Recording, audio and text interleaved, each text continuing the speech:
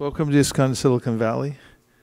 Very happy to be back here with all of you for a, a, a rousing session of hearing and chanting, which is the lifeline for those who are engaged in the practice of bhakti, hearing and chanting together. Can never go wrong. As they say in Wall Street, you never go broke taking a profit. And in uh, bhakti, you never go you never go wrong by sitting down to hear and chant one way or another, taking time. This is best use of human life. So we're going to start with the Hare Krishna Maha Mantra, which, as Prabhupada writes in a purport in the ba- Srimad Bhagavatam, Chaitanya Charitamrita rather, is a manifestation of the flute song of Sri Krishna. Of course, there's a material world and a spiritual world. And right now, in case you haven't noticed, we're in the material world. But there is a spiritual world, and we're actually part of it. And the way to connect to the spiritual world is through sound vibration. And the best sound vibration of all is the Hare Krishna Mahamantra. It's, it's the names of Krishna, but it's in a formulaic uh, process. It's in a formula that is uh, specifically addressing the Lord and his energies and in a very intimate way. And it's highly recommended and authorized and blessed by Lord Chaitanya Mahaprabhu. So those who chant the Hare Krishna Maha Mantra will realize for themselves everything about the internal spiritual energy, especially those who practice chanting Hare Krishna and at the same time cultivating knowledge of the spiritual world simultaneously, and also practicing uh, developing a certain frame of reference in life, which is being uh, cautious about the way um, we interact with others, the way we uh, interact with Krishna and the holy name, and, and, living a conscious kind of lifestyle, being aware of the fact that we, we've been giving a being we've been given a great opportunity in the human form of life, and having come into Krishna consciousness that. Uh, having the association of Vaishnavas is the most precious thing that we can have. Not taking for granted uh, what we have. This is um, one of the attitudes that helps us to chant Hare Krishna and uh, feel the effects, which is important. Otherwise, one of the great teachers of bhakti, Rupa Goswami, says that if you practice chanting Hare Krishna but then you don't get the result, then you need to adjust so that you do. Otherwise, he calls it niyamagraha. You're doing it just for the sake of doing it without getting a result. So if you're not, then you have to adjust certain ways. Of course, there's different motivations people have. Bhaktivinoda Thakur says the most basic of motivations for practicing chanting Hare Krishna and doing devotional service is fear, because I have a, a, a, an abiding sense that if I don't do this, I'm going to be in big trouble. Uh, and then above fear is the, the sense of duty. No, excuse me, above fear is the sense of prospect, which means what do I get from this? And above that is duty, which is in the mode of goodness. And above duty is one actually has affection, has a, a, a taste for it, an appreciation. Eh, one could even say love. So different levels of motivation, but any of them, whatever gets you going and and doing the process of of bhakti is good, and whatever motiv- motivates you uh, on a daily basis to continue without any breakage in the process every day is important because if you can string together a week of good practice and then a month and then a year, then five years, ten years, you'll notice that you're actually um, developing a connection to the spiritual world that you didn't know was there previously. And uh, the practice of spiritual life actually becomes real. And um, palpable in one's life. So, because we have some um, kartalists here, we're going to start off with the Hare Krishna mantra. Nama Om Vishnu Padaya Krishna Preshtaya Bhutale Sri Mate Bhaktivedanta Swami Niti Namine Namo Vishnu Padaya Krishna Preshtaya Bhutale Sri Mate Bhaktivedanta Swami Niti Namine Namaste Saraswate Deve Gauravani Pracharine Nirvishesha Shunyavadi Paschatya Deshatarine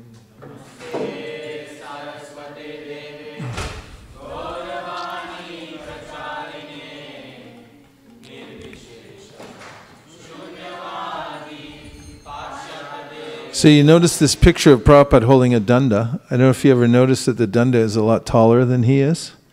Generally, a sannyasi will have a danda that's the same height. But Prabhupada was taking a photo here, and he didn't have his danda with him, so Brahmananda handed Prabhupada his danda. So that's why it's much larger. Jaya Shri Krishna Chaitanya Prabhu Nityananda Shri Advaita Gadadhara Srivasadi Gaura Bhakta Vrinda Bolo.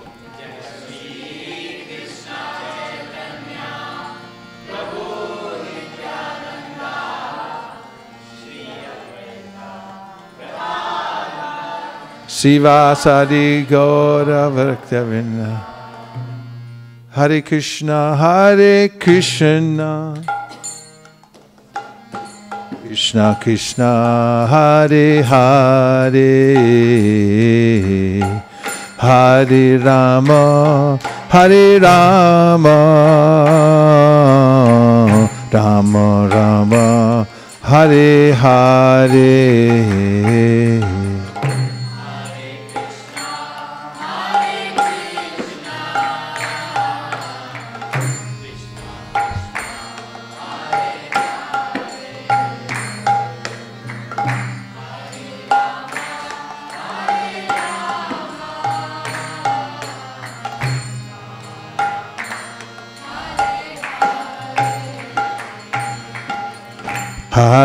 Krishna, Hare Krishna,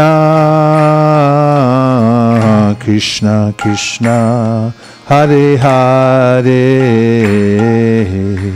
Hare Rama, Hare Rama, Rama Rama, Hare Hare.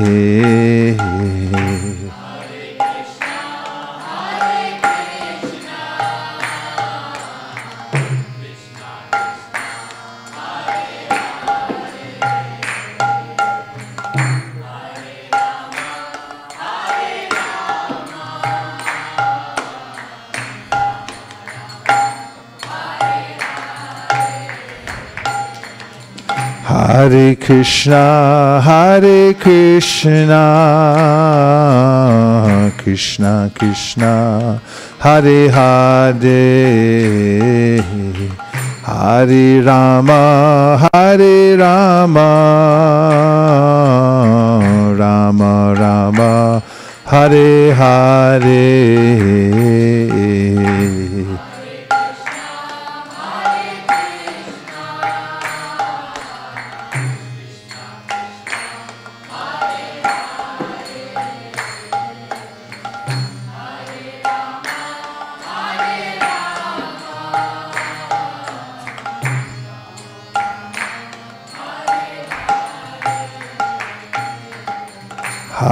Krishna, Hare Krishna, Krishna Krishna, Hare Hare, Hare Rama, Hare Rama, Rama Rama, Hare Hare.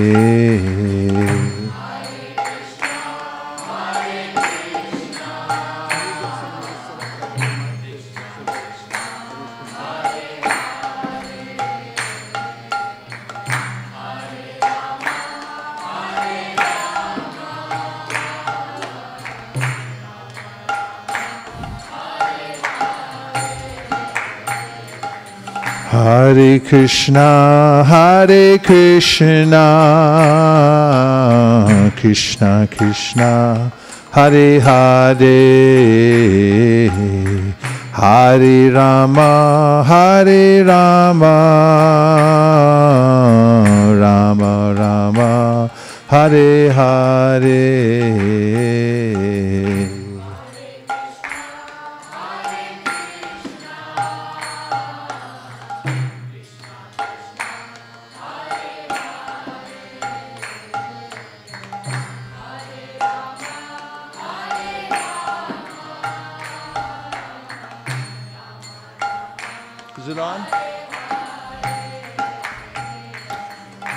Hare Krishna, Hare Krishna,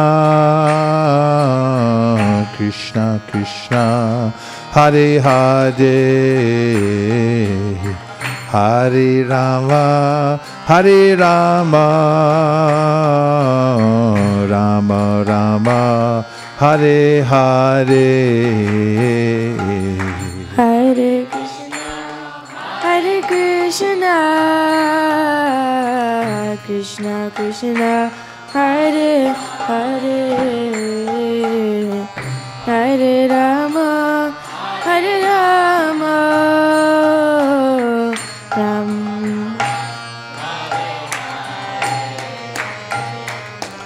Hare Krishna, Hare Krishna,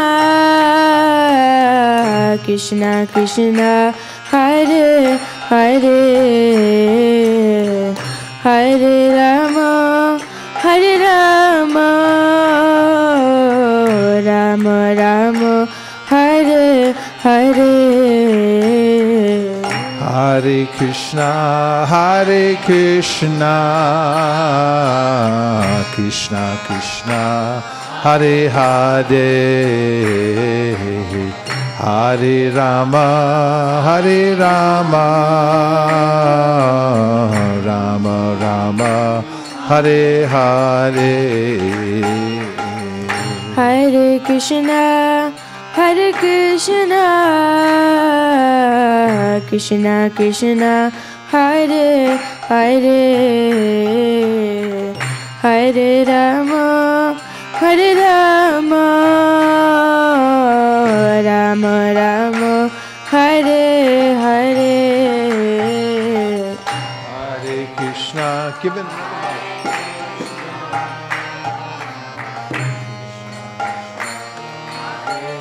Hare Hare Rama, Hare Rama, Rama Rama. Hare Hare Hare Krishna Hare Krishna Krishna Krishna Hare Hare Hare Rama Hare Rama Rama Rama Hare Hare Hare Krishna, Hare Krishna, Krishna Krishna, Hare Hare, Hare Rama, Hare Rama, Rama Hare Hare. Hare Krishna, Hare Krishna, Krishna Krishna, Hare Hare, Hare Rama, Hare Rama, Rama Rama, Hare Hare. Hare Krishna, Hare Krishna. Krishna Krishna Hare Hare Hare Rama Hare Rama Rama Rama Hare Hare Hare Krishna, Hare Krishna, Krishna Krishna, Hare Hare, Hare Rama, Hare Rama, Rama Rama, Hare Hare. Hare Krishna Hare Krishna Krishna Krishna Hare Hare Hare Rama, Hare Rama, Rama Rama, Hare Hare.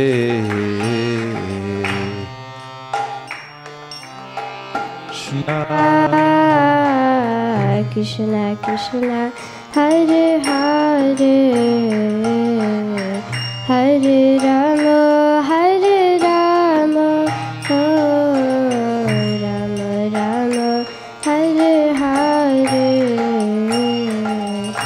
Hare Krishna, Hare Krishna, Krishna Krishna, Hare Hare, Hare Rama, Hare Rama, Rama Rama, Hare Hare. Hare Krishna, Hare Krishna, Krishna Krishna, Hare Hare, Hare Rama, Hare Rama, Rama Hare Hare. Hare Krishna, Hare Krishna, Krishna Krishna, Hare Hare, Hare Rama, Hare Rama, Rama Rama, Hare Hare.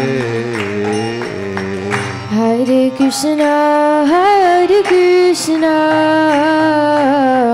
Krishna Krishna, Hare Hare, Hare Rama, Hare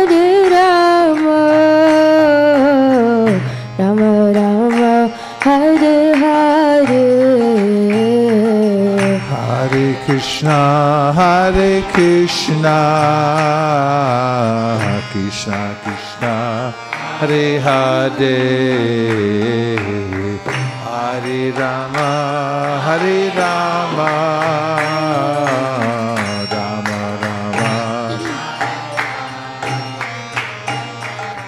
Hare Krishna, Hare Krishna, Krishna Krishna, Hare Hare, Hare Rama, Hare Rama, Rama Rama, Hare Hare.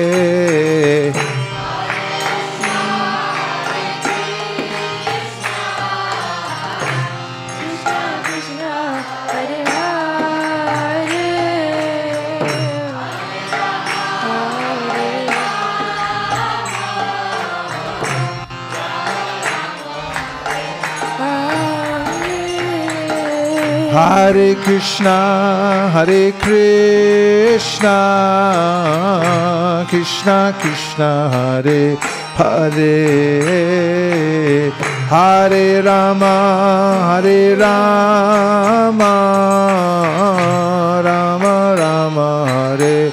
Hare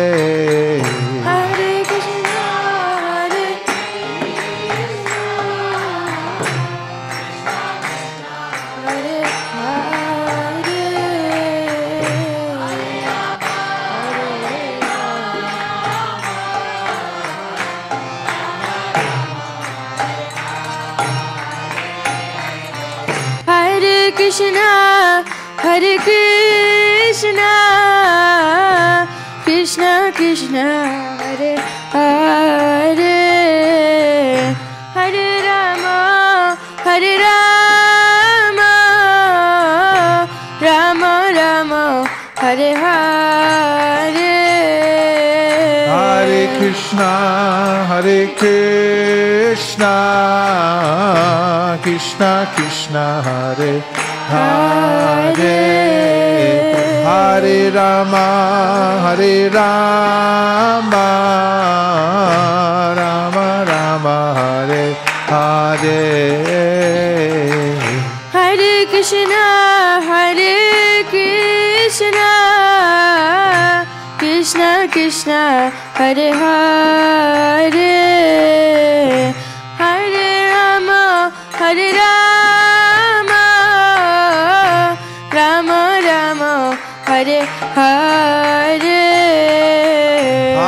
Krishna, Hare Krishna, Krishna Krishna, Hare Hare. Hare Rama, Rama Rama, Hare Hare. Hare Krishna, Hare Krishna, Krishna Krishna, Hare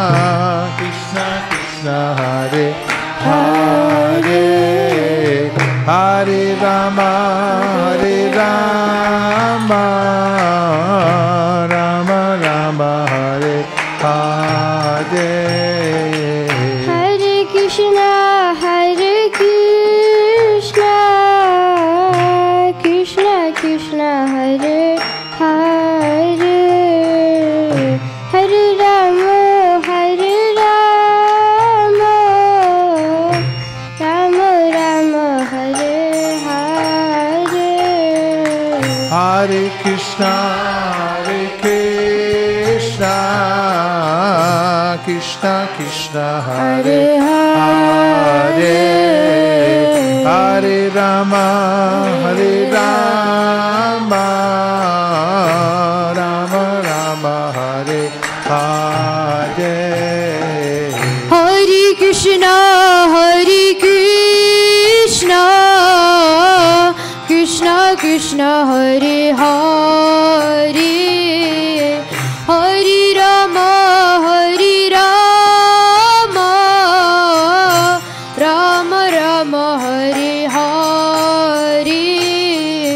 Hare Krishna, Hare Krishna, Krishna Krishna, Hare. Hare, Hare Rama,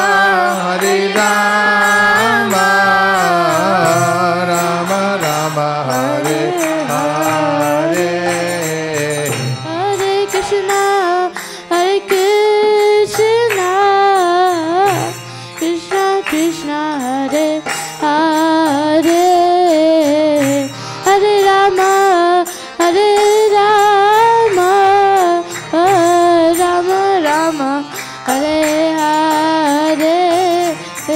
Hare Krishna, Hare Krishna, Krishna Krishna, Hare Hare Hare.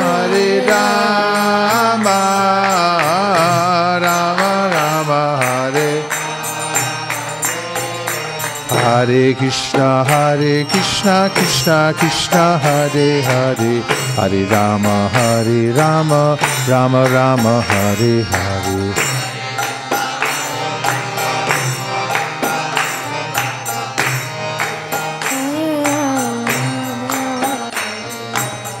Hare Krishna, Hare Krishna, Krishna Krishna, Hare Hare, Hare Rama, Hare Rama, Rama Rama, Hare Hare.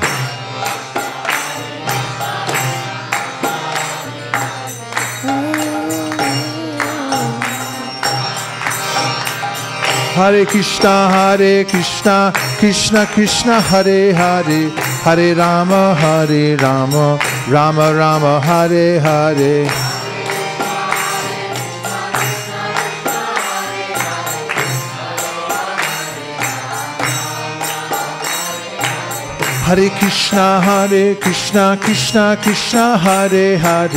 Hare Rama, Hare Rama, Rama Rama, Hare Hare.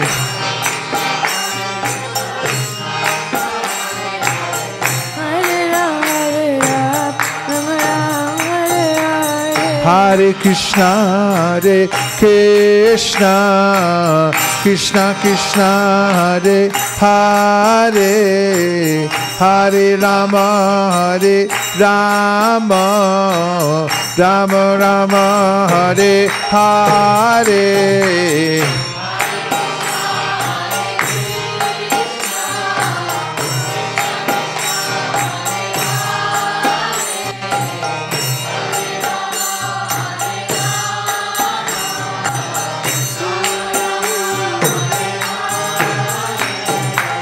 Hare Krishna, Hare Krishna, Krishna Krishna, Hare Hare, Hare Rama, Hare Rama, Rama Rama, Hare Hare.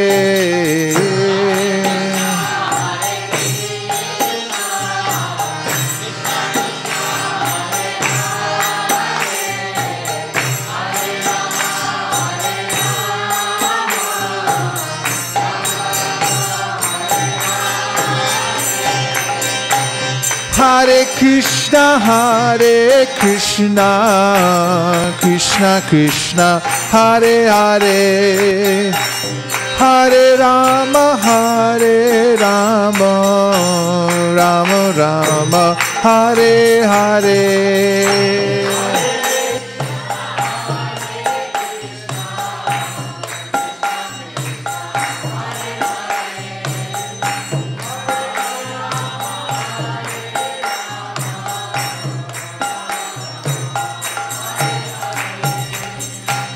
Hare Krishna, Hare Krishna, Krishna Krishna, Hare Hare, Hare Rama, Hare Rama, Rama Rama, Hare Hare.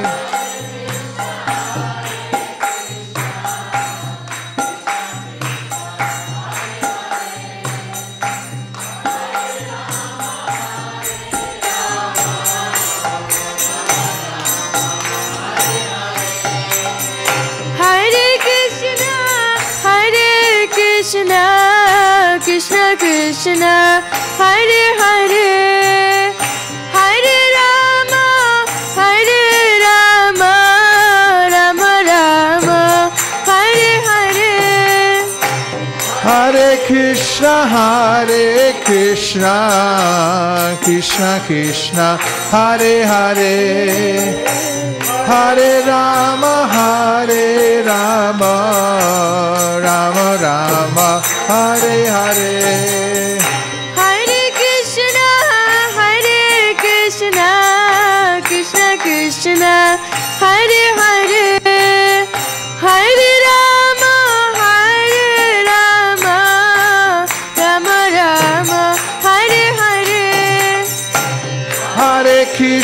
Hare Krishna, Krishna Krishna, Hare Hare.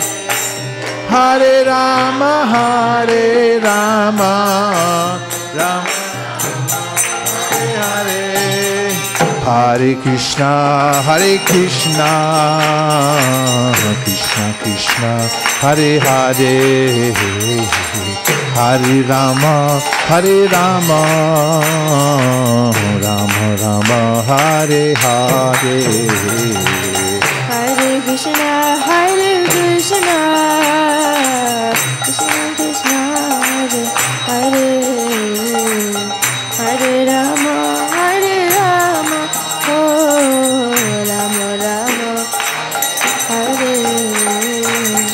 Hare Krishna, Hare Krishna, Krishna Krishna, Hare Hare, Hare Rama, Hare Rama, Rama Rama, Hare Hare.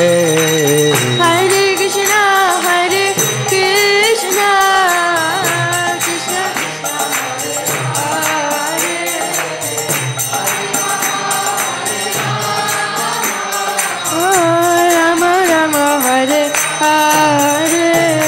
Hare Krishna, Hare Krishna, Krishna Krishna, Hare Hare, Hare Rama, Hare Rama, Rama Rama, Hare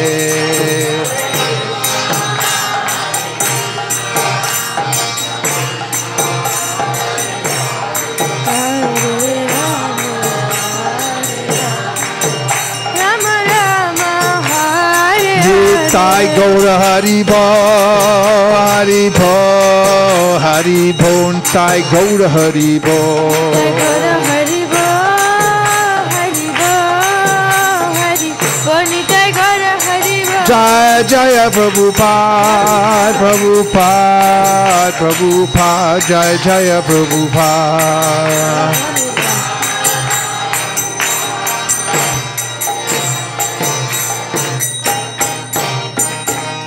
Nitai Gaura Premanande.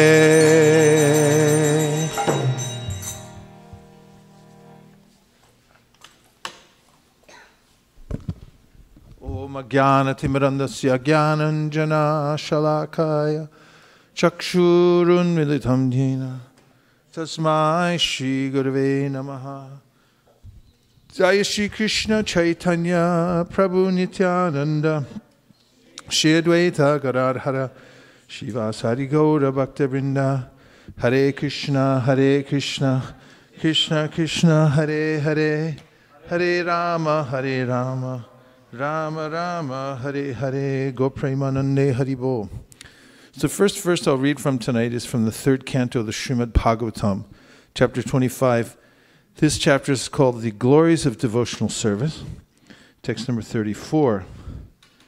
And this verse says, spoken by Kapiladev, a pure devotee who is attached to the activities of devotional service and who always engages in the service of my lotus feet never desires to become one with me. Such a devotee who is unflinchingly engaged always glorifies my pastimes and activities. And Prabhupada writes, there are five kinds of liberation stated in the scriptures. One is to become one with the Supreme Personality of Godhead, or for, to forsake one's individuality and merge into the Supreme Spirit. This is called ekatmatam. A devotee never accepts this kind of liberation. The other four liberations are to be promoted to the same planet as God, Vaikuntha, to associate personally with the Supreme Lord, to achieve the same opulence as the Lord, and to attain the same bodily features as the Lord. A pure devotee, as will be explained by Kapila Muni, does not aspire for any of the five liberations. He especially despises as hellish the idea of becoming one with the Supreme Personality of Godhead. Sri Prabodhananda Saraswati, a great devotee of Lord Chaitanya, said, Kaivalyam narakayate. What did he say? The happiness of becoming one with the Supreme Lord, which is aspired for by the Mayavadis, is considered hellish. That oneness is not for pure devotees. We'll find this attitude throughout the writings of our Vaishnava acharyas. This is a particular attitude that we have, especially in our Sampradaya, that uh, the, the uh, pure vo- devotees eschew the idea of liberation or becoming one with the Lord. There's various kinds of liberation, but if all of them merging into the Lord's existence and losing one's individuality is considered to be the, the worst. There are many so called devotees who think that in the conditioned state we may worship the Supreme Personality of Godhead, but that ultimately there is no personality. They say that since the Absolute Truth is impersonal, one can imagine a personal form of the impersonal Absolute Truth for the time being, but as soon as one becomes liberated, the worship stops. But um, from the Shri Isopanishad, Monisha is going to prove how that's not true by stating from an authentic Vedic scripture a verse that proves that God has a face. Go ahead.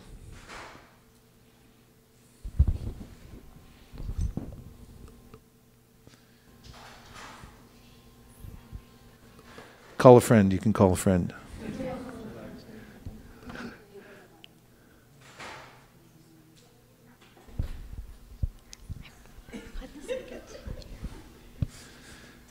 Last Sunday we chanted the Sri Isopanishad. Four was in backwards. Okay? Here in my ina patrina. Good. Halfway there. Tatvam Pushana Parvane. Sati Dharmaya Dishte. That counts for a lot. Having these verses on the ready and knowing when to insert them. Uh, tell us why she quoted that verse, why it's important. Um, she quoted that verse because it says, uh, "O Supreme Lord, remove the your dazzling effulgence covering your face." So The devotee's praying to the Lord, right? Yeah. Saying, and saying, reveal your personal form. Mukham, face. Very good. Well done. Then we have uh,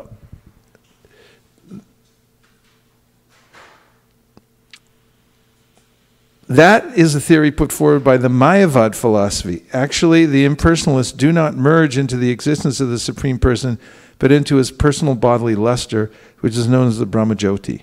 Although that Brahmajyoti is not different from his personal body, that sort of oneness, merging into the bodily luster of the Supreme Personality of God, it is not accepted by a pure devotee because the devotees engage in greater pleasure than the so called pleasure of merging into his existence.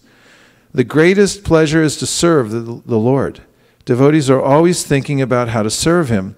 They're always designing ways and means to serve the Supreme Lord. In, even in the midst of the greatest obstacles of material existence. The Mayavadis accept the description of the pastimes of the Lord as stories, but actually they are not stories, they are historical facts. Pure devotees accept the narrations of the pastimes of the Lord not as stories, but as absolute truth. The words mama parushani are significant. Which words are significant? Devotees are very much attached to glorifying the activities of the Lord, whereas the Mayavadis cannot even think of these activities. According to them, the absolute truth is impersonal. Without impersonal existence, how can there be activity?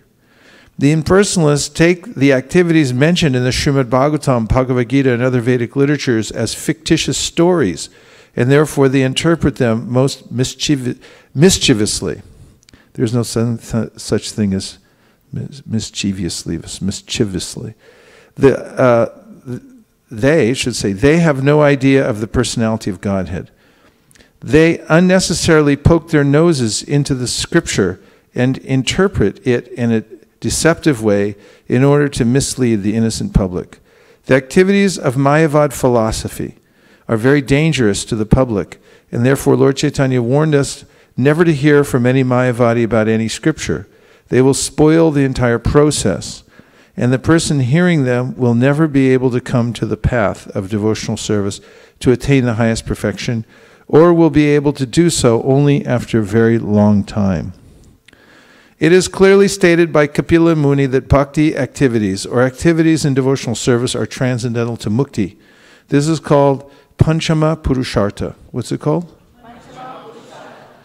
Generally, people engage in the activities of religion, economic development, and sense gratification, and ultimately they work with an idea that they are going to become one with the Supreme Lord, Mukti. But bhakti is transcendental to all these activities. The Srimad Bhagavatam therefore begins by stating that all kinds of pretentious religiosity is completely eradicated from the Bhagavatam. Ritualistic activities for economic development and sense gratification, and after frustration in sense gratification, the desire to become one with the Supreme Lord are all completely rejected in the Bhagavatam. The Bhagavatam is especially meant for the pure devotees who always engage in Krishna consciousness in the activities of the Lord and always glorify these transcendental activities. Pure devotees worship the transcendental activities of the Lord in Vrindavan, Dwarka, and Mathura, as they are narrated in the Srimad Bhagavatam and other Puranas. The Mayavadi philosophers completely reject them as stories, but actually they are great and worshipable subject matters, and thus are relishable only for devotees. That is the difference between a Mayavadi and a pure devotee. So this is an important distinction Uh, between devotional service and the general idea of what spiritual life is, which is to become liberated or to merge into the Supreme Absolute. There's a mis- mistaken idea that I am the Supreme. I've simply become temporarily waylaid in the material world and bewildered by this external energy, which doesn't make sense because the Supreme means one who never is overcome by the lower energies. The jiva is actually a part and parcel of the Lord, same in quality, but different in quantity. And therefore, just like a spark that comes from a great fire can become extinguished or greatly diminished when it strays from the fire. So, similarly, the jivas, the living entities, the conscious uh, sparks of the fire of Krishna, when they become estranged from Him or uh, uh, far away from Him in consciousness, become covered by the illusory energy. And one of the mistaken ideas that these jivas can develop is that they are God and that the ultimate realization is to merge into God and become one with Him again. So, this is categorically different from the Vaishnava philosophy, which is that we're eternal servants of God. And that by hearing about the personal pastimes of the Lord, which are transcendental and eternal, one revives one's original loving relationship with the Supreme Personality of Godhead. This is uh, one of the uh, qualities of pure devotional service. As soon as one takes shelter of a pure devotee and begins to practice bhakti, uh, one develops a sense of uh, aversion to the idea of, of liberation, especially merging into the supreme absolute truth. But there are different, uh, there are other different kinds of liberation which are mentioned in the Shastra.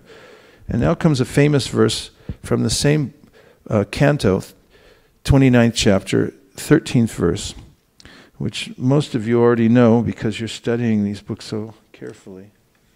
Salokya sarshti samipya sarupyaikatvam apyuta diyamanam nagrananti vinamat sevanam jana. This verse again spoken by Kapila. A pure devotee does not accept any kind of liberation, salokya, sarshti, samipya, sarupya, or ekatva, even though they are offered by the Supreme Personality of Godhead. So there's a way in which we have our individual desires to serve the Lord. He may offer various kinds of uh, liberation, but the devotee has so much taste for serving the personality of Godhead that he or she does not accept even the kinds of liberation offered by the Lord. And here's Prabhupada's purport. Lord Chaitanya teaches us how to execute pure devotional service out of spontaneous love for the Supreme Personality of Godhead.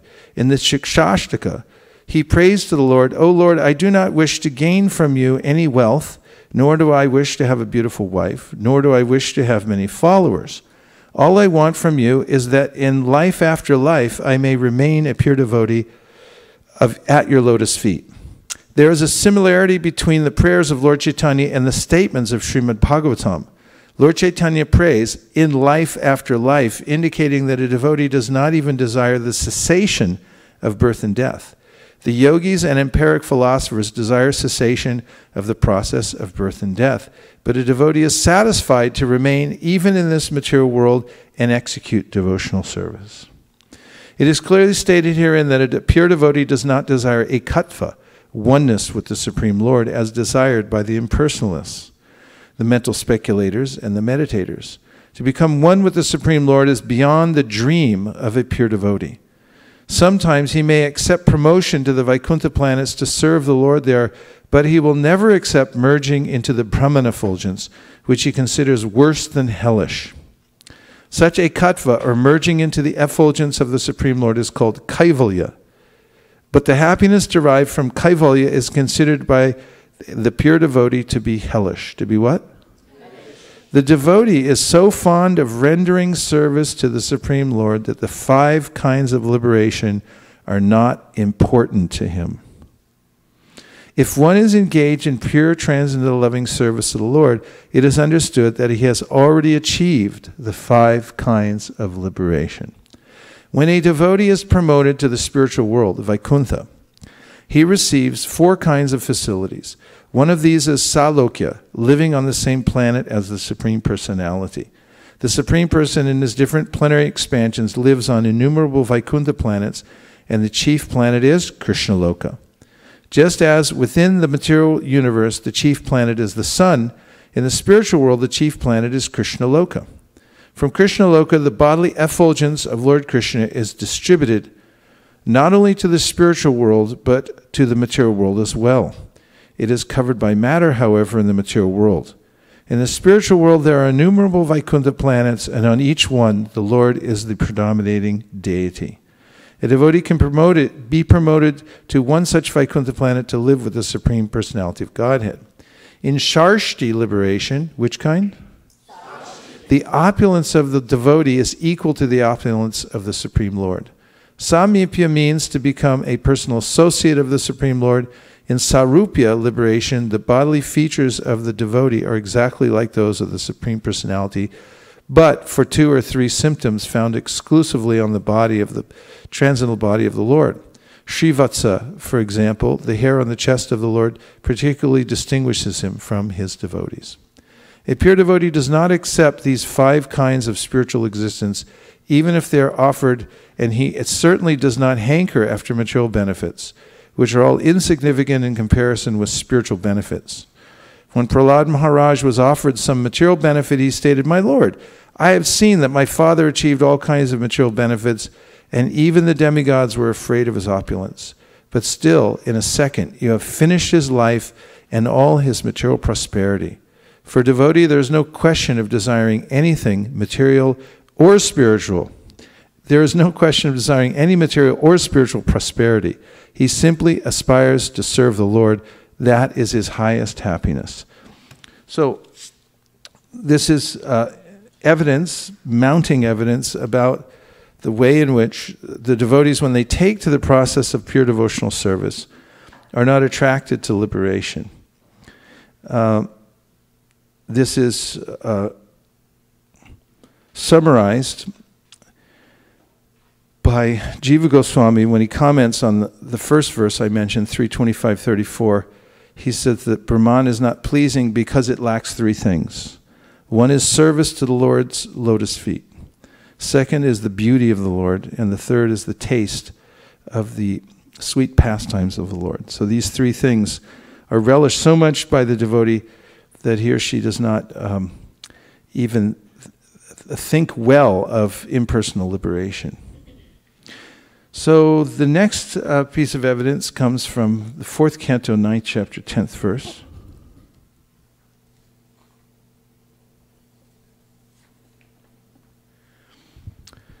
And here, in the chapter named Dhruva Maharaj returns home, in his prayers, he says, My Lord, the transcendental bliss derived from meditating upon your lotus feet or hearing about your glories from pure devotees is so unlimited that it is far beyond the stage of Brahmananda, wherein one thinks himself merged in the impersonal Brahman as one with the Supreme.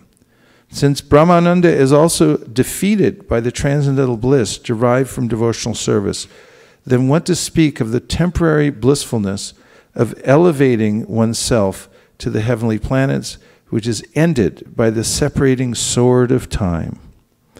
Although one may be elevated in the to the heavenly planets, he falls down in due course of time. So this, what we're discussing now, is uh, sambandhagyan, is knowledge of our relationship with the Supreme. And since we're living entities, the Shastra says we're interested in one thing only. What is that? Happiness, pleasure. In the material world, our main interest is in avoiding distress because that's the best you can do here. But when we hear about the gradations of happiness that are available, then we can aspire for that. So, what we're doing is hearing about the various levels of happiness that are delineated in the Srimad Bhagavatam and which uh, Rupa Goswami in his Bhakti Rasamrita Sindhu lists uh, uh, in various categories. So now, uh, you may have noticed that human beings have this particular quality that when you show a ladder, that uh, uh, as soon as a, uh, a, human sees a ladder, uh, he or she wants to climb it. When we know of, of something that's better or higher, then we want to go there and we want to experience it. So it begins by hearing. So right now we're hearing about the various categories of, of happiness. Purport The transcendental bliss derived from devotional service, primarily from Shravanam Kirtanam, hearing and chanting, cannot be compared to the happiness derived by karmis by elevating themselves to the heavenly planets, or by gyanis or yogis who enjoy oneness with the supreme impersonal Brahman. Yogis generally meditate upon the transcendental form of Vishnu, but devotees not only meditate upon him, but actually engage in the direct service of the Lord. In the previous verse, we find the phrase bhavapyaya, which refers to birth and death.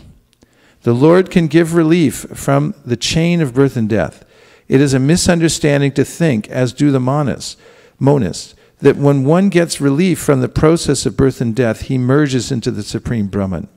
Here it is clearly said that the transcendental bliss derived from Shravanam Kirtanam, means hearing and chanting, by pure devotees cannot be compared to Brahmananda or the impersonal conception of transcendental bliss derived by merging into the Absolute. The position of, of karmis is still more degraded. Their aim is to elevate themselves to the higher planetary systems. It is said, Yanti Deva Vrta Devan, persons who worship the demigods are elevated to the heavenly planets. And now that's um, often we find uh, this statement. We don't uh, normally see people in Silicon Valley uh, aspiring for the heavenly planets. In fact, I've only met one person in my life uh, when I lived at the Calcutta Temple on Albert One Albert Road, and that uh, actually proclaimed that he was working to reach the heavenly planets. I've never met anybody else. However, we do notice that people try to migrate from one place to the next in this world or in this, on this planet to try to get to a better place. Everyone's moving around trying to find this is elevationism.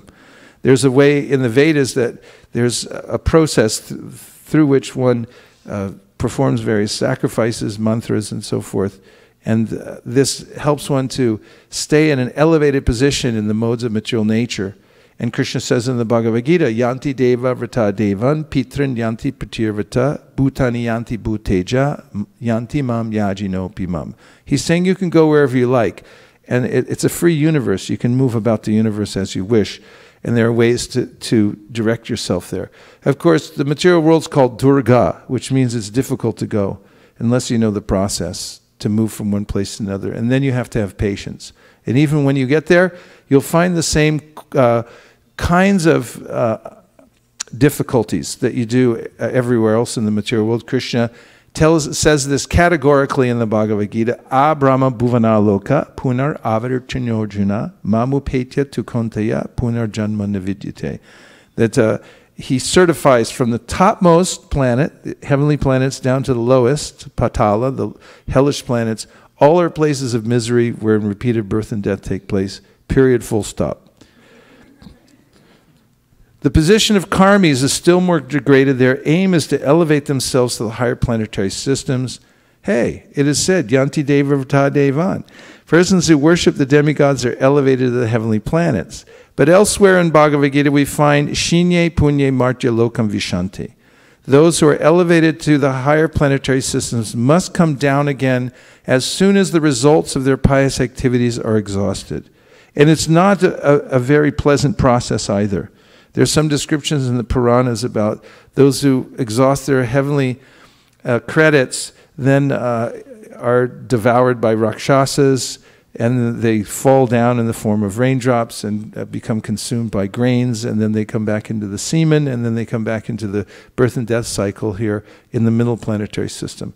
It's a very inconvenient and troublesome process living in the material world, whichever way you look at it. They are like the modern astronauts who go to the moon. As soon as their fuel is used up, they're obliged to come back down to this earth. As the modern astronauts who go to the moon or other heavenly planets by force of jet propulsion have come down to other heavenly planets by force, uh, come down uh, after, again, after exhausting their fuel, so also do those who are elevated to the heavenly planets by force of yajnas and pious activities. The other day, somebody sent me a little video clip of a man who was uh, convinced that the world is flat. And so, to prove it, he built himself a rocket and he got in it and uh, it shot up into the uh, higher realms of this atmosphere and then came crashing down. Uh, he hurt himself uh, and he didn't prove anything. And that's what happens. Anat Anatta, anatta, anakasi lulitat. By the sword of time, one is cut from his exalted position within this material world, and he comes down again. That's pretty clear. Dhruva Maharaj appreciated that the results of devotional service are far more valuable than merging into the absolute or being elevated to the heavenly planets. The words patatam vimanat are very significant. Vimana means airplane. Those who are elevated to the heavenly planets are like airplanes, which drop when they run out of fuel. okay, so we're getting a, a, kind of a pattern and a picture here, which can be very helpful. And the next comes in 420, 24. And um, this is from Prithu Maharaj. Uh, now you're going to start to hear in a prayer by Prithu Maharaj when he's speaking to the Lord the, his mood of appreciation for hearing and chanting. We heard how Shravanam Kirtanam is full of pleasure.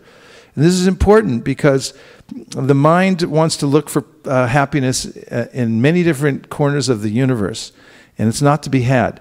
You can have it from hearing and chanting, Shravanam Kirtan, Kirtanam. You can hear about the Lord, you can hear the instructions of the Lord. They're all absolute and transcendental, and they're full of potencies. And these potencies can not only awaken the soul from its slumber, but also uh, infuse the, the jiva, the living entity, with the internal potency from the spiritual world through which the soul feels uh, so much happiness that uh, he doesn't want anything else. Now, here's a, here's a verse. This is 42024 from Prithu Maharaj. If you haven't read the fourth canto, there's a particular effect that the fourth canto will have on you. If you just read it, read it. One of the effects you'll hear at the end is you should read it again and again. At least, I think it says at least three or four times. You should read the fourth canto, and you'll feel like it when you finish the fourth canto, of going back. Uh, and so much of the fourth canto is about Prithu Maharaj. And you may think, oh, he's a king. I don't know if I'm so interested, but he has some of the most interesting and potent prayers, and his, his lifestyle and instructions are so sound and commonsensical that it, it helps to readjust one's mind, especially in this time of chaos in the world. There's a, a lot of political chaos. Nobody knows uh, what the actual what morality means anymore. Nobody knows what law is a social science. You study law, you'll find out as a social science, people make stuff up and they say, oh, it starts here and it stops there. But that can be moved at any time according to the social climate. And um, so uh, it, it's a very uh, unnerving time to live. But when you hear about Prithu Maharaj, his prayers, and he shows how to live a life of duty and at the same time be fully absorbed in Shravanam Kirtanam. And that's useful because we can all do that too. And without further ado, here's his prayer My dear Lord, I therefore do not wish to have the benedictions of merging into your existence, a benediction in which there is no existence of the nectarian beverage of your lotus feet. Of what? I want the benediction of at least one million ears for thus I may be able to hear about the glories of your lotus feet from the mouths of your pure devotees. Prabhupada's purport. In the previous verse, Maharaj Prithu addressed the Lord as Kaivalya Pati, the master of the liberation of merging into his existence. This does not mean that he was anxious for Kaivalya liberation. That is made clear in this verse. My dear Lord, I do not want such a benediction. Maharaj Prithu wanted to have a million ears to hear the glories of the lotus feet of the Lord. He specifically mentioned that the glories of the Lord should emanate from the mouths of pure devotees who speak from the core of their hearts.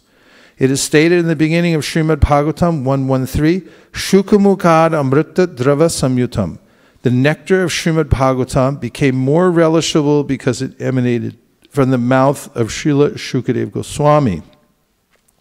One might think that these glories of the Lord can be heard from anywhere, from the mouths of either devotees or non devotees, but here it is specifically mentioned that the glories of the Lord must emanate from the mouths of pure devotees. Sri Sanatan Goswami has strictly prohibited hearing from the mouth of a non devotee. There are many professional reciters of Srimad Bhagavatam who speak the narrations very ornamentally. But a pure devotee does not like to hear from them because such glorification of the Lord is simply a vibration of material sound. But when heard from the mouth of a pure devotee, glorification of the Lord is immediately effective. Uh, how soon is it effective?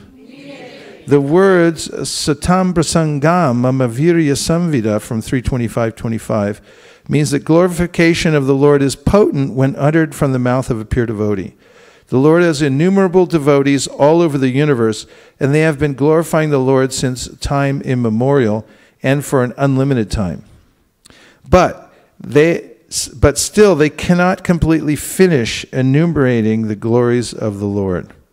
Prithu Maharaj therefore wanted innumerable ears, as Rupa Goswami also desired to have millions of ears and millions of tongues to chant and hear the glorification of the Lord. In other words, if our ears are always engaged in hearing the glorification of the Lord, there will be no scope for hearing the Mayavad philosophy, which is doomed to spiritual progress. Sri Chaitanya Mahaprabhu said that if anyone hears from a Mayavadi philosopher preaching about the activities of the Lord, even if it is a description from the Vedic literature, he is ultimately doomed. By hearing such Mayavad philosophy, one cannot come to the destination of spiritual perfection of life. Is everyone okay? Yes. I mean, you, you, you never go broke taking a profit. So now uh, we're moving on to the fifth canto, and then I'm going to take a break for reflections. This will not be relentless. This is 51444, slightly relentless. 51444.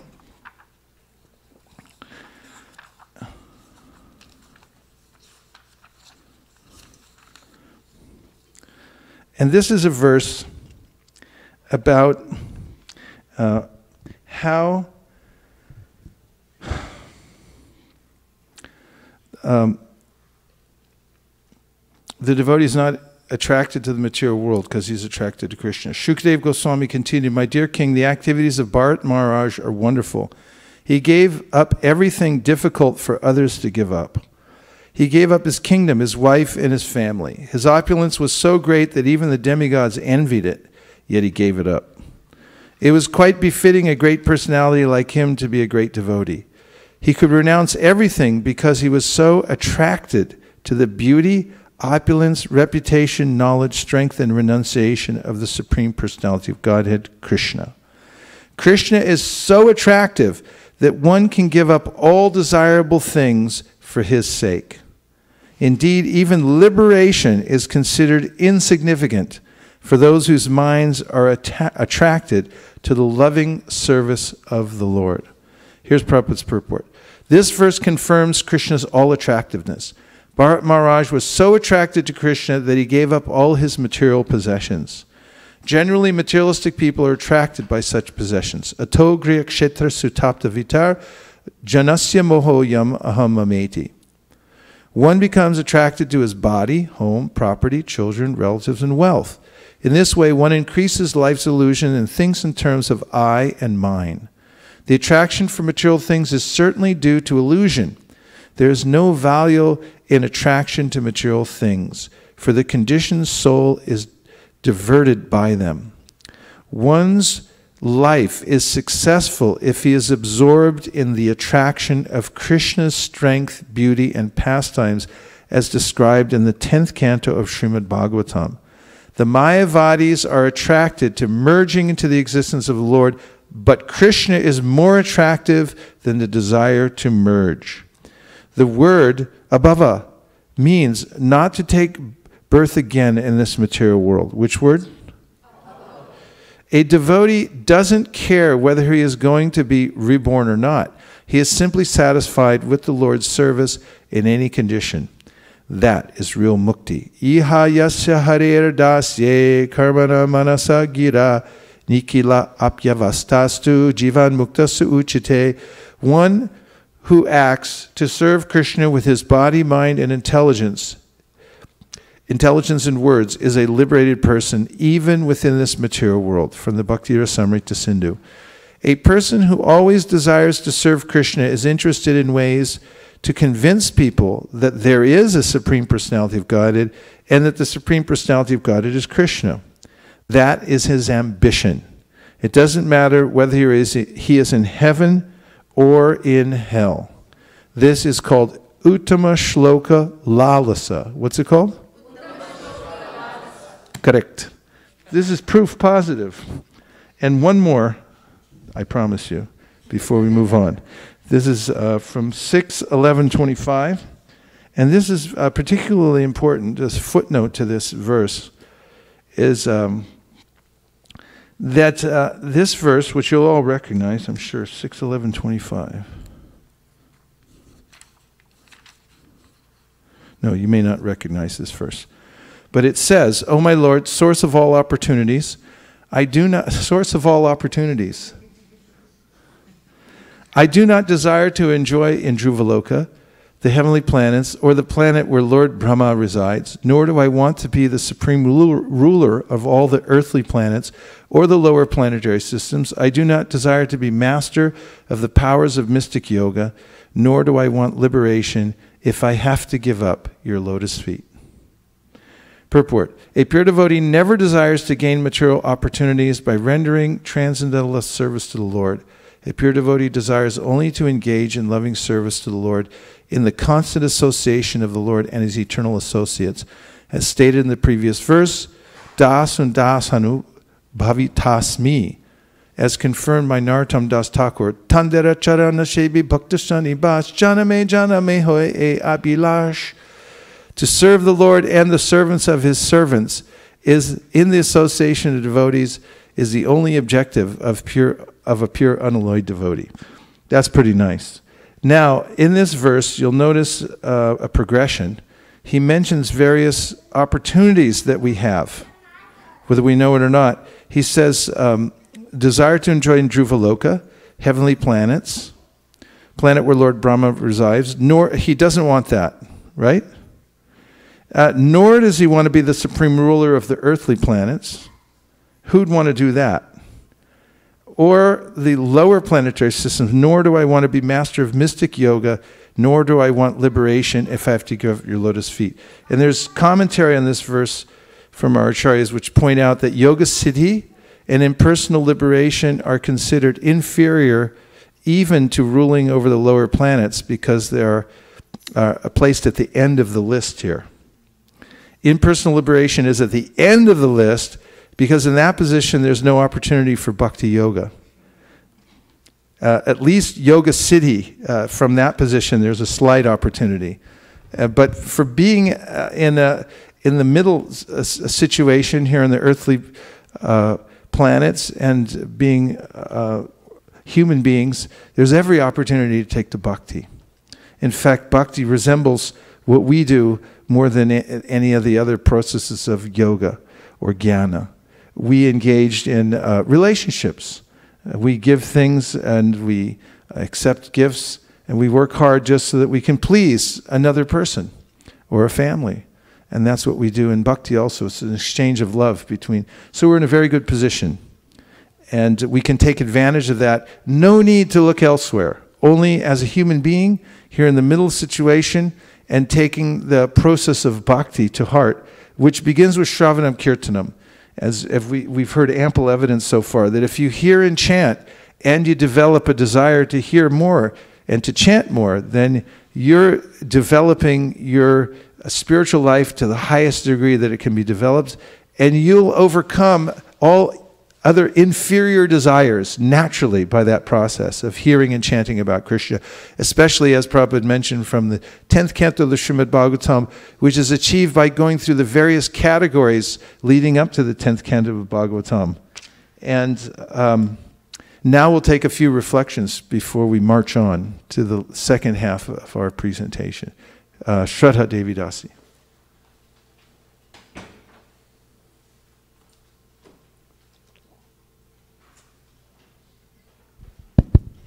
Thank you so much, Maharaj, for the wonderful citations from the scriptures. I, I always enjoy when you go through so many verses, you know, on a particular topic. Um, so uh, what particularly struck me was Prithu Maharaj's prayer where he's saying that I wish to have a million ears to be able to listen. And then Prabhupada's caution that from where you should be listening. And then there was a mention of um, Satam Prasangam. And then that took me to right at the beginning of the lecture you had mentioned that association of devotees is the most precious thing, and we should not take it for granted. So, very good, nice points. It's our our practice of bhakti depends on the refinement of our association. If we're in refined association, where we'll naturally be hearing and chanting about Krishna, then we'll naturally advance. It's that simple. What else? Yes. Uh, in the third it was the first verse you showed from the third canto. In, in the first paragraph, it talked about how Chaitanya Mahaprabhu said something about serving life after life. So that shows how uh, pure devotees don't really care where they are as long as they can serve Krishna. Nice point. Yes, and that, that was paralleled in Chaitanya Mahaprabhu's statement, Mama Janmani Janmanishvare from the Shikshashtakam, where he's, it, it was noted by Prabhupada in the purport that Chaitanya Mahaprabhu's philosophy parallels the philosophy of Srimad Bhagavatam. And this is something, as you all remember, Radhika Raman Prabhu brought up in his logical presentation that uh, Chaitanya Mahaprabhu's philosophy is the philosophy of Srimad Bhagavatam. He then proves Srimad Bhagavatam is the best, therefore, uh, by logic, Chaitanya Mahaprabhu is the best also. Nice points. From the our pundit corner over here. Um, I like the point that bhakti is an exchange of love, and it starts with Shravanam Kirtanam. And the, as we develop the desire to hear more and chant more, our spiritual life gets better, I think, is. Yes. I, I have I had personal experience when I came to the Krishna conscious movement. I had been reading Bhagavad Gita. There's a lot of philosophy and logical points that Krishna made, and I was fascinated by it. I could not uh, really um, make um, sense of the Krishna book. And we used to, for our Bhakta program, we would go out every day on Harinam Sankirtan and we would chant on the streets. And then we'd take a break in the park and read Krishna book for half an hour. And they're reading those stories from the Krishna book. And I was thinking, what are all these stories? I want to hear some philosophy. And, uh, but gradually it, it, caught hold. Just by listening, being in the association of devotees, I, I remember noted, noticing uh, a transformation and becoming interested in the stories. And then uh, it became a fascination to read those stories and hear from them. So by hearing and chanting, one develops a taste. Yes.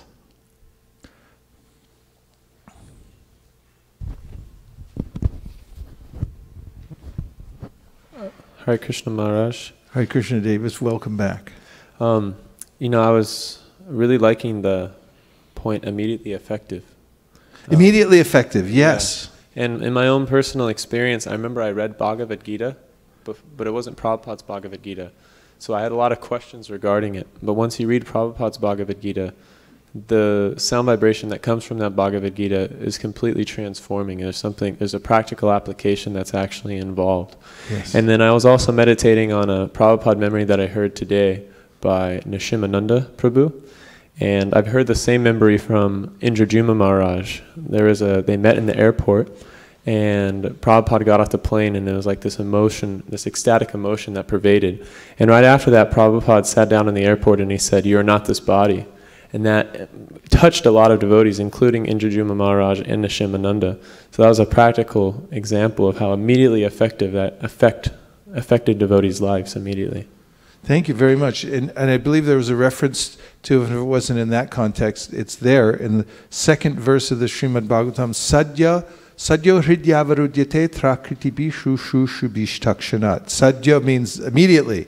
When you start to hear the Srimad Bhagavatam, then Krishna becomes, as Prabhupada said, uh, he becomes uh, compact in your heart. This uh, verse that um, Govinda Charan Prabhu said was one of my favorite verses. I heard that when Sadhusanga recommended I speak on the verse that's in the commentary to that verse by Vishwanath Chakravarti Thakur. He mentions from the 11th canto of the Srimad Bhagavatam that when you hear and chant about Krishna, then he won't leave your heart.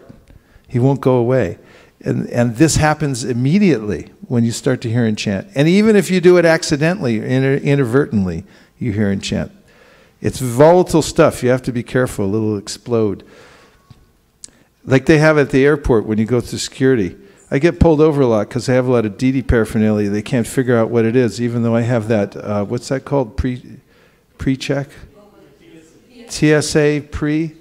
Even they they look and they go, well, I don't know about this guy. And they look in the DD paraphernalia. and They take one of those swabs and they run it around the suitcase to see is there any residue in there. A residue is, a, is a, pervades the material world. If you associate with materialistic persons, you'll get a residue on you. If somebody takes a little swab around your heart, it's like, yeah, you were associating with demoniac people. And if you hear the Bhagavatam, you run it, and they're like beep, beep, beep. You know, you will get that immediately, immediate effect of the Bhagavatam. Who is over here? Okay, Poonam.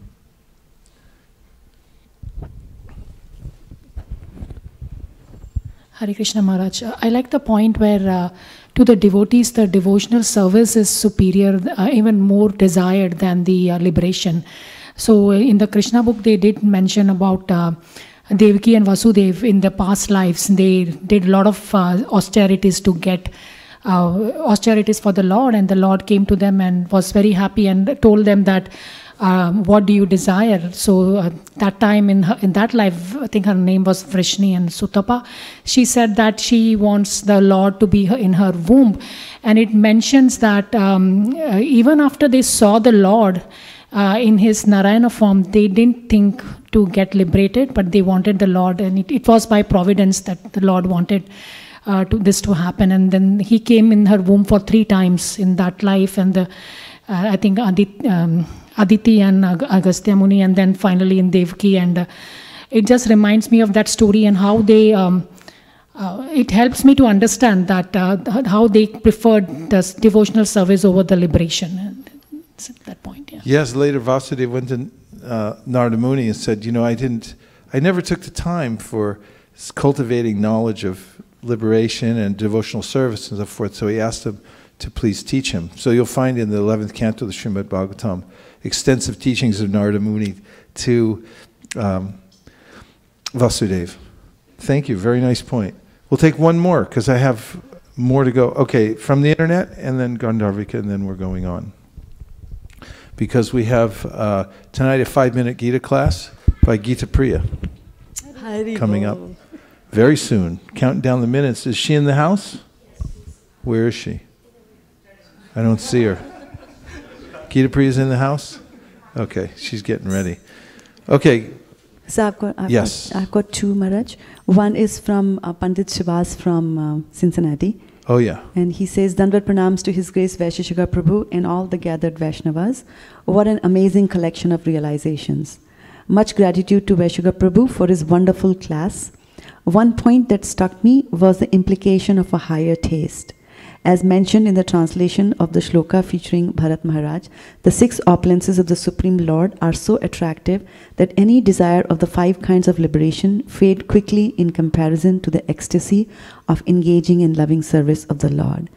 And there's another one similar, the thoughts similar Yeah, there. what to speak of when we've talked about Bharat Maharaj, he was at the a top of the material world that you can get as far as opulence goes. The king, he had all the wealth, uh, beauty, everything, and he wasn't attracted to it because he was attracted to devotional service. Yes.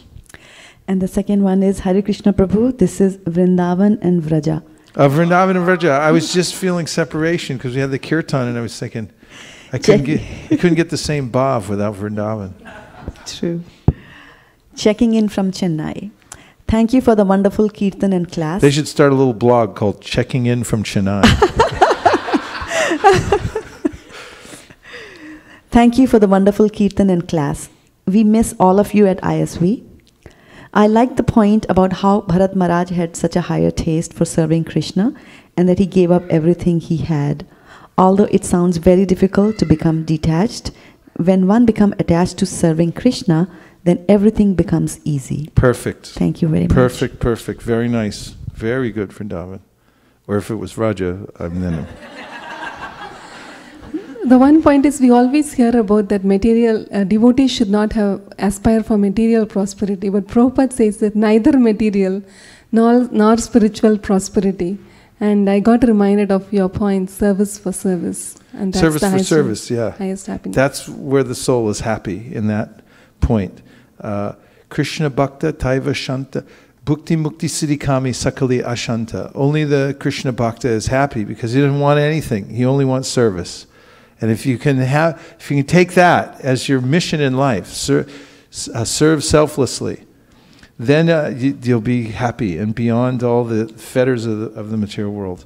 So now we have um, a famous verse from 617 uh, 28, which all of you will jump for joy by hearing because this is one of the famous verses spoken um, by Sh- uh, Lord Shiva.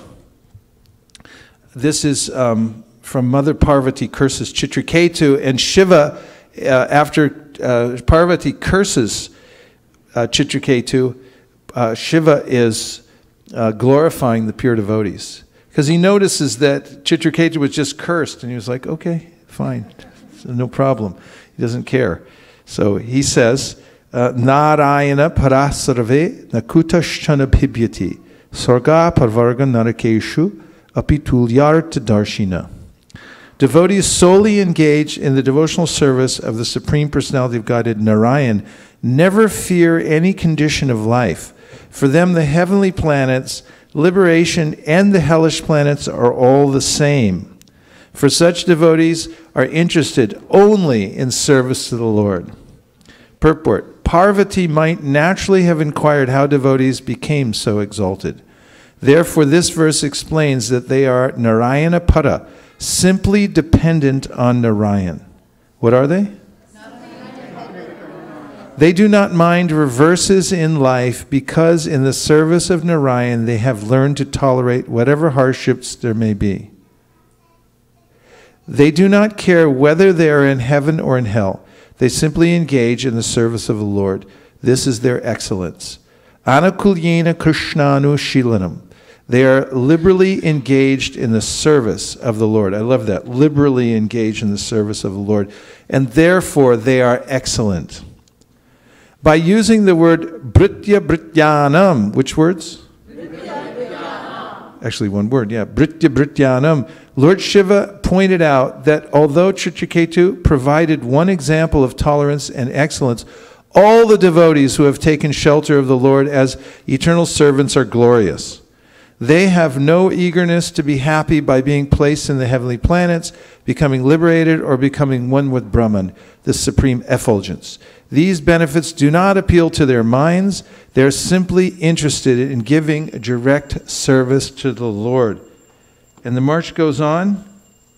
Now, um, 6 1874 says, Although those who are interested, this is Diti vows to kill King Indra. Although those who are interested only in worshiping the Supreme Personality of Godhead do not desire anything material from the Lord and do not even want liberation, Lord Krishna fulfills all their desires. So we hear in the Bhagavad Gita, Vedeshu yagyeshu tapasu chaiva daneshu yat punya palam pratishnam atyeti tat sarvam idam baditva yogi param stanam upaiti chajam. Krishna confirms at the end of the eighth chapter that when you perform bhakti, you're not uh, losing out on anything else. And as Bhaktivinoda Thakur says, Nam bina kichunahiko aro. Krishna and his name are non different, and if you focus on chanting Hare Krishna, you will not uh, miss anything because there's nothing else to be had except for the holy name. So again, this verse says, Is everything okay? Okay, just make it in the screen of your mind. Although those who are interested only in worshiping the Supreme Personality of God do not desire anything material from the Lord and do not even want liberation, Lord Krishna fulfills all their desires. What does he do? Purport When Dhruva Maharaj saw Lord Vishnu, he declined to take any benedictions from him, for he was fully satisfied by seeing the Lord. Nonetheless, the Lord is so kind that because Dhruva Maharaj, in the beginning, had desired a kingdom greater than his father's, he was promoted to Dhruvaloka, the best planet in the universe. A great challenge to concentrate right now. Therefore, in the Shastra, it is said, Akama sarvakamo va mokshakama udaradi divrena bhakti yogena yajeta purusham Baram A person who has broader intelligence, whether he is full of material desires, free of material desires, or desiring liberation, must by all means worship the supreme whole personality of Godhead. One should engage in full devotional service. What kind of devotional service? Then, even though he has no desires, whatever desires he previously had can all be fulfilled simply by his worship of the Lord. Highly recommended. The actual devotee does not desire even liberation, anyabilashita shunyam. The Lord, however, fulfills the desire of the devotee by awarding him opulence that will never be destroyed. That's also confirmed by Devahuti. A karmi's opulence is destroyed, but the, devo- the opulence of a devotee is never destroyed. Is a Kumbh Mela going on? A devotee becomes more and more opulent as he increases his devotional service to the Lord.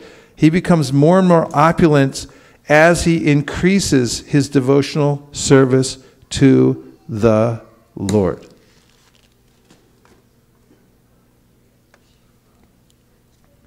Now we've got um, service 1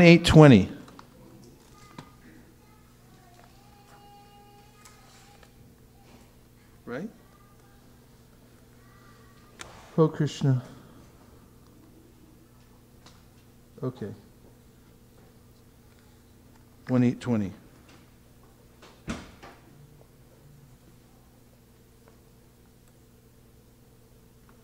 So this um, now this section it's a slight, slightly different point. It's a nuance to this whole um, unfolding uh, presentation about the, the devotees not desiring any other inferior kinds of pleasure, including liberation from the material world or any of the five kinds of liberation. What to speak of material pleasure, which is for foolish people who don't know anything.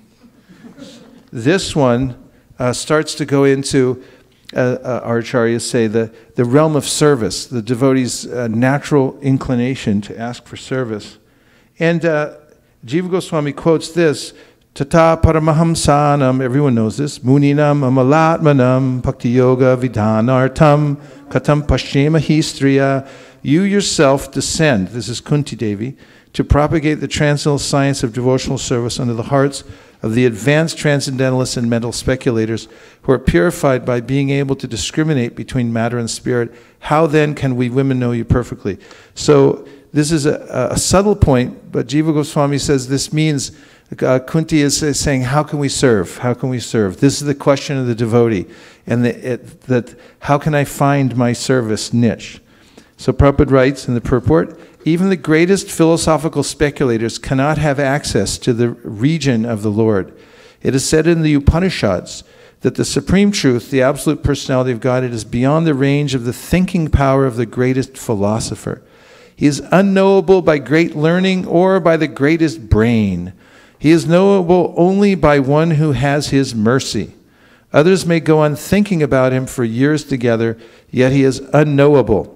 This very fact is corroborated by the queen, who is playing the part of an innocent woman. Women in general are unable to speculate like philosophers, but they are blessed by the Lord because they believe at once in the superiority and almightiness of the Lord, and thus they offer obeisances without reservation. The Lord is so kind that he does not show special favor only to one who is a great philosopher. He knows the sincerity of purpose. For this reason only, women generally assemble in greater number, in great number, in any sort of religious function. In every country and in every sect of religion, it appears that women are more interested than the men. Haribo. Good for you. The simplicity of acceptance of the Lord's Uh, authority is more effective than showy, insincere religious fervor. This is especially true when we go to Asia.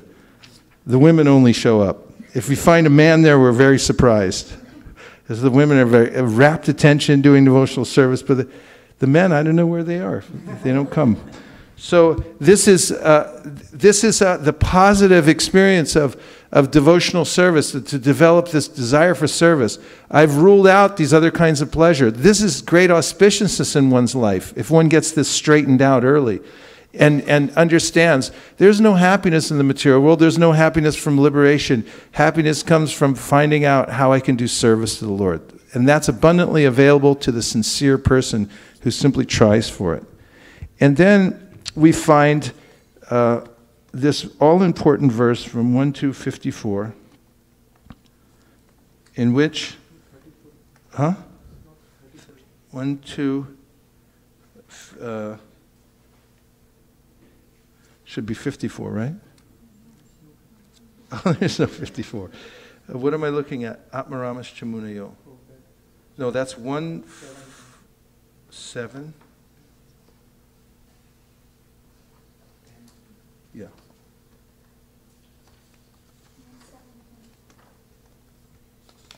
Okay, 1 7 10 uh, this verse, which for those of you who have studied the Chaitanya Charitamrita know, Chaitanya Mahaprabhu commented on this verse uh, ad infinitum. He goes on and on describing the different aspects of this verse, which is highly important. Atmaramash Sutu Uvacha, Atmaramash Nigranta Apyarukrame, Kurvantya Haitukim Bhaktim, Ittam Puta Gunohari.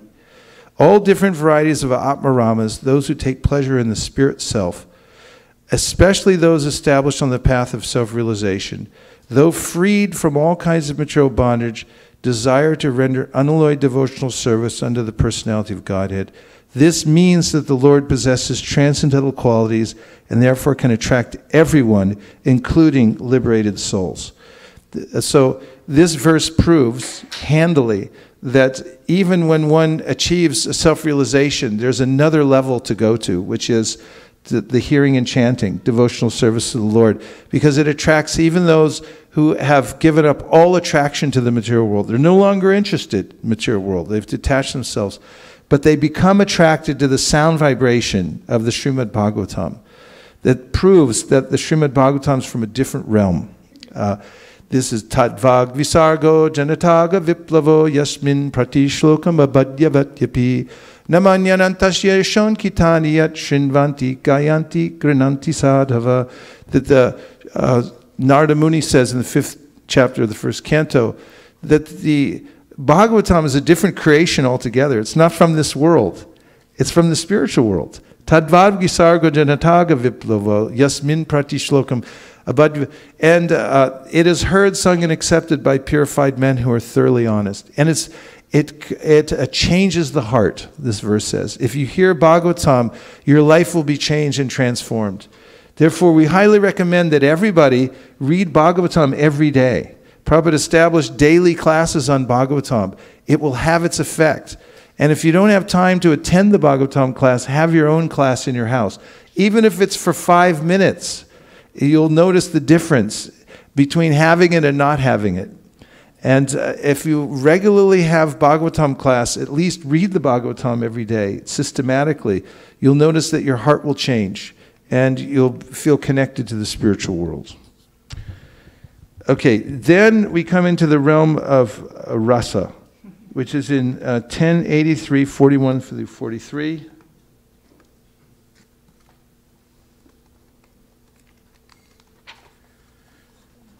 This verse is cited by Srila Rupa Goswami. O saintly lady, we do not desire domination over the earth, the sovereignty of the King of heaven unlimited facility for enjoyment, mystic power, the position of Lord Brahma, immortality, or even attainment of the kingdom of God. We simply desire to carry on our heads the glorious dust of Lord Krishna's feet, enriched by the fragrance of kunkum from his consort's bosom. So uh, we get into the 10th canto after one has left the realm of the material world, and then one enters into the world of rasa.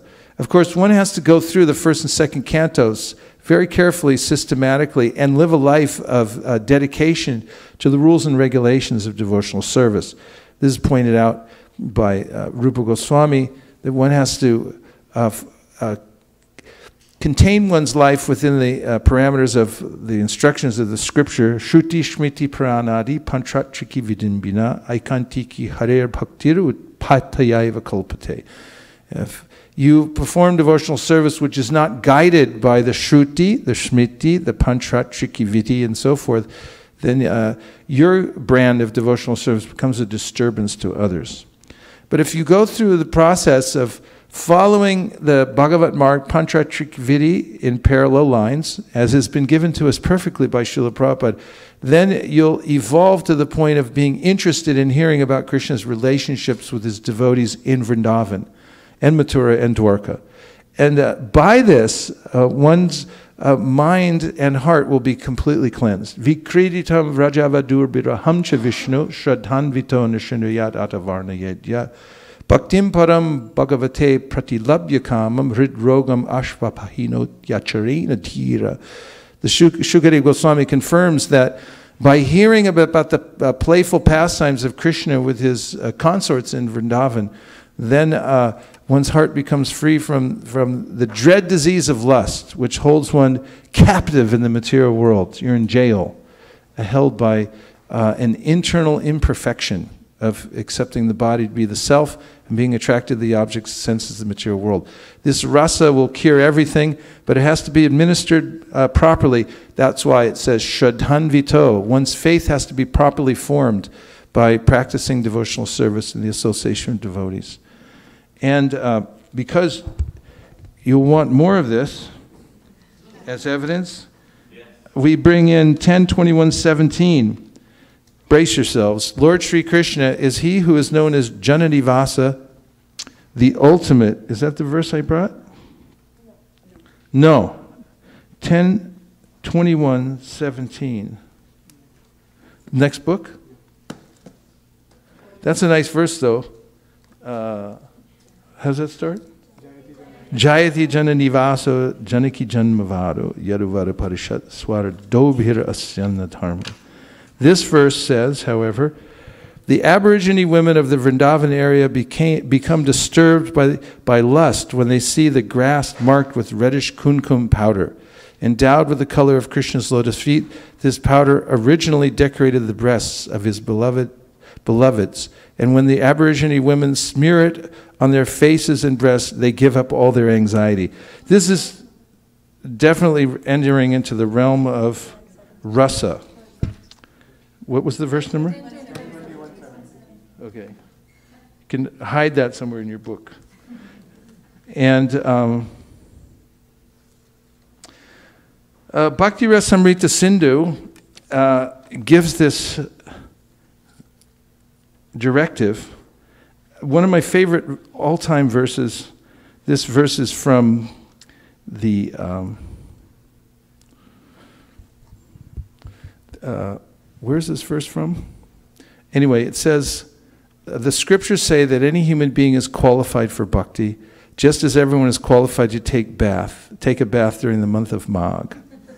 Vashishta, while speaking to the king, has given that example concerning devotion to the Lord. Uh, this verse is brought by um, Rupa Goswami into his Bhakti Rasamrita Sindhu, but it means that uh, anyone is eligible for bhakti if you uh, simply develop the desire to have it. And uh, just as it's your prerogative, if you want to take a bath in the month of Magh at the confluence of uh, Jamuna uh, uh, it's uh, Saraswati, Ganga, and Jamuna. I did this once. We went during Magh.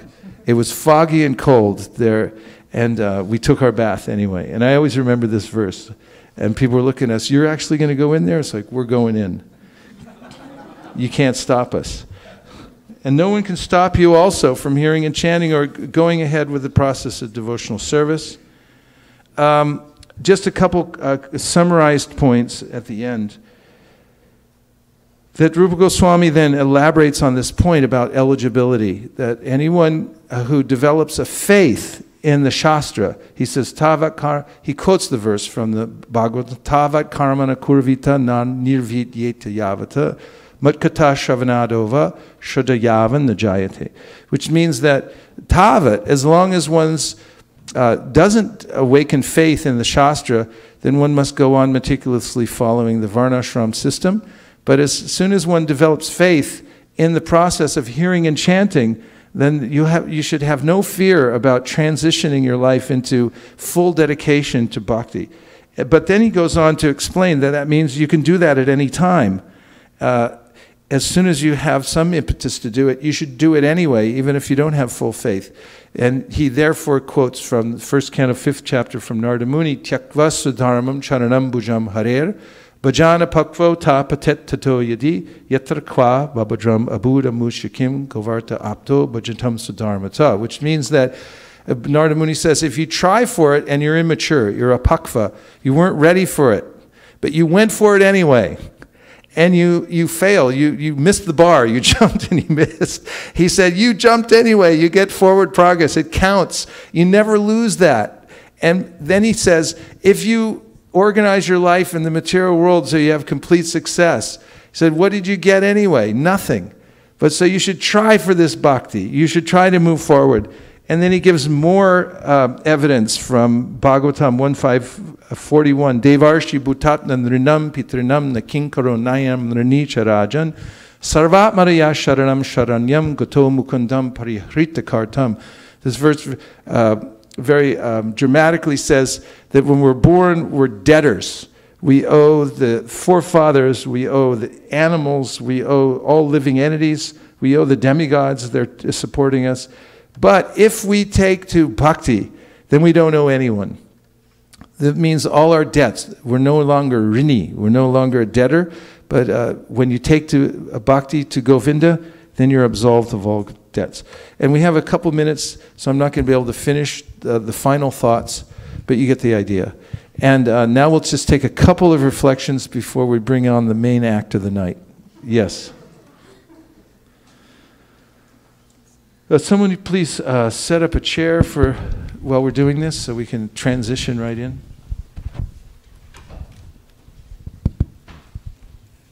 Go right ahead. Hare Krishna.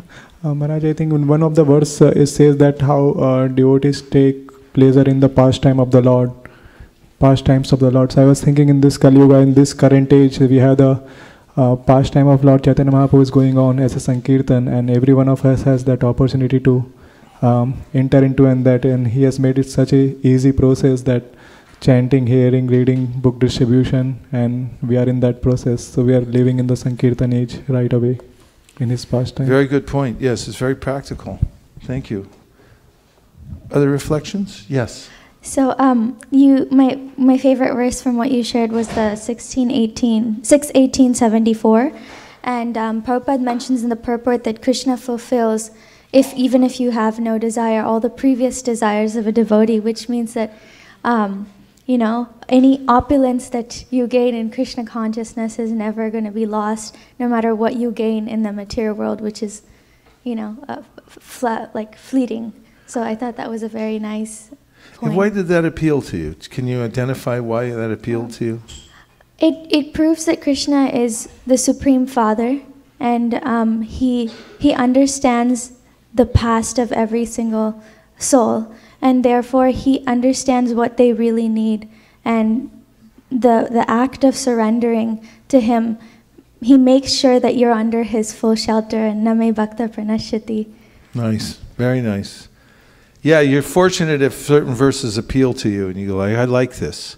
This is uh, the nectar of hearing and chanting. You'll hear things that very much appeal to you, and you'll be able to relate them to your uh, to your relationship with Krishna. That your whatever fledgling relationship you have. Oh, good, it's going up.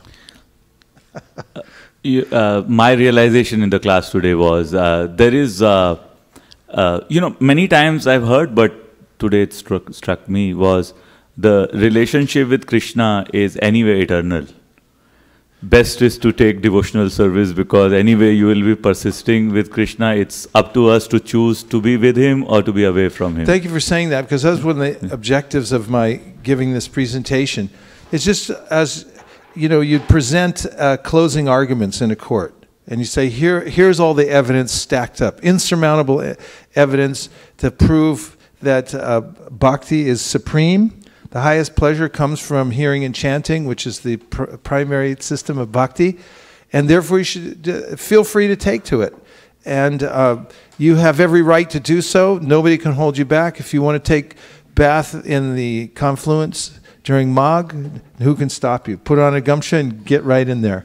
So just uh, against all odds in the material world, take shelter of this information and this progressive, progressive knowledge given by our acharyas, and feel free to take this path of bhakti and uh, dedicate your full heart, mind, and, and uh, intelligence to it.